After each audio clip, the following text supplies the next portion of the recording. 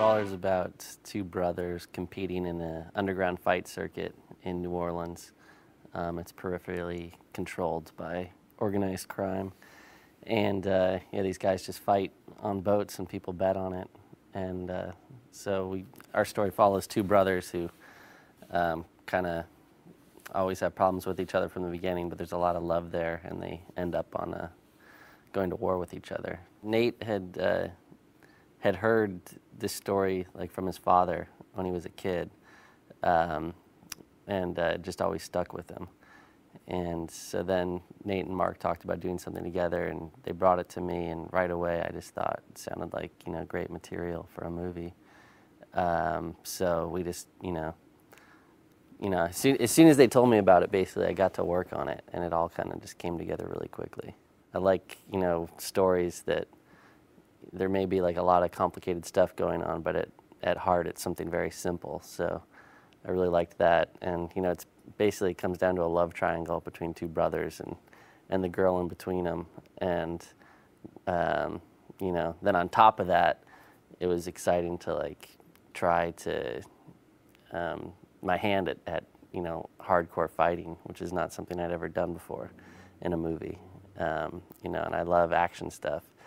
Um, so that that was fun as a chance to to try to make something um, that was like really down and dirty as far as the fighting goes, and that was kind of the idea of the title Brawler, is that it's not really nice, smoothly choreographed action, um, but it's it's meant to be like messy and in your face and kind of like the feeling of if you're in a bar and a fight breaks out in front of you.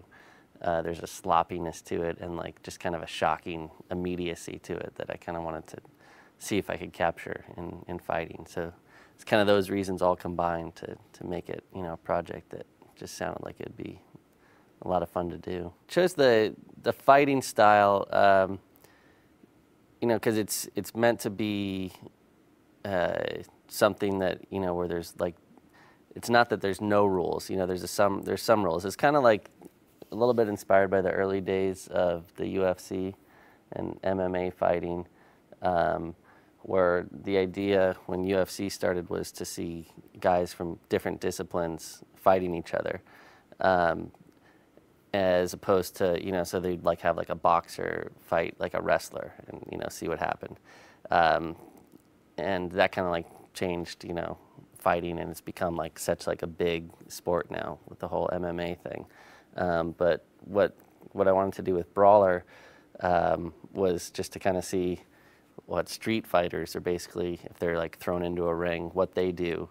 Um, and then, but where when our story takes place is um, their sport has evolved a little bit to where they start to incorporate some MM, you know, some MMA moves, um, and uh, because the idea is that, you know, the guys that, you know, these guys are pulled by the mob, thrown into this ring, and if they do well, they can keep fighting. And so the brothers that we're following are guys that have, you know, fought, you know, a lot now. And so they've each kind of started to develop their own styles. Uh, the one character, Charlie, is more of a boxer, and his brother Bobby is more of a martial artist. Um, but they still incorporate other moves, you know, which is kind of like the evolution of like what was really interesting in the early days of the UFC is that the guys realized right away that to win you kind of have to start to incorporate all these different moves. Um, so so yeah, I was kind of just trying to balance, uh, you know, like I was talking about like the raw immediacy of street fighting, um, but then thinking about it uh, like how that would evolve, you know, and how you'd have to kind of pull other techniques, you know, from, from different disciplines um, to, you know, in order to, to keep winning, you know, that's because that's how like these guys make their money. Yeah, I really enjoyed it. It was, it was um, fun and it was, it was nice to be able to like work on a bunch of action and then do like a drama scene, you know, do some days of, of drama and then go back to the action. We kind of tried to balance it that way. Um, also just so that we wouldn't wear out, you know, the actors too much to where you know we would do a couple days of fighting and then you know like several days of drama and then go back to fighting. Uh, but still, yeah, they were all exhausted by the end of the shoot.